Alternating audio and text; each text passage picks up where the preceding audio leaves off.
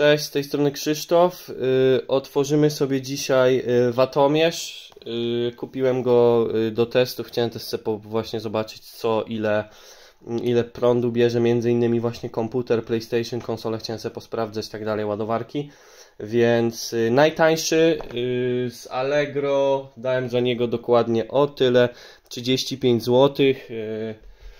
Tutaj jest on shopuj.pl, ale oczywiście made in y, China, tak? Y, Więc y, Chiny. Zobaczmy sobie, co tam jest w środku. Mm. Jeżeli będzie test konieczny, bo tu są jakieś przyciski, tak naprawdę pudełeczko, jakaś tam drobna instrukcja, tak? I tyle. Mamy tu jakieś tam kilka. Patrzcie, nawet wziąłem go też dlatego, że był super tani, bo 35 zł, ale miał opisane po polsku te.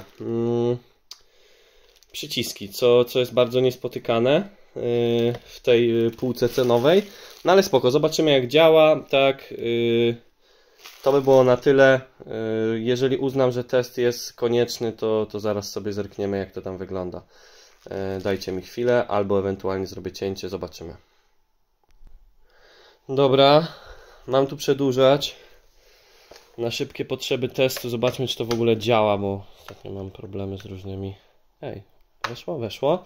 Dobra. Jest licznik. Spoko. Wepniemy sobie tu ładowarkę i podepnę swój telefon. Zobaczymy. O, Uwaga, blokada już widzę, że jest turbo ciężka. Dobra, dramatu aż takiego nie ma. Podpinam. To jest 15W ładowarka, więc też szału nie będzie. I co tu pokazuje się?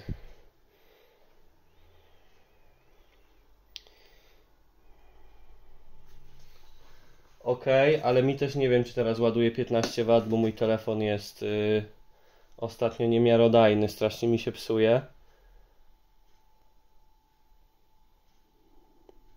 No, ale mamy, pokazuje czas, ile mierzy, tak. Tutaj możemy sobie w- dodać koszt też, jaką mamy taryfę i wtedy nam wszystko tam. Ja się tym pobawię, działać działa. Za 35 zł nie ma też co więcej y, tutaj od tego wymagać.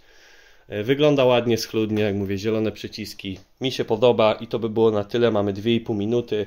Jakbyście mieli jakieś pytania, e, to komentarze zapraszam. E, I to tyle. Elo.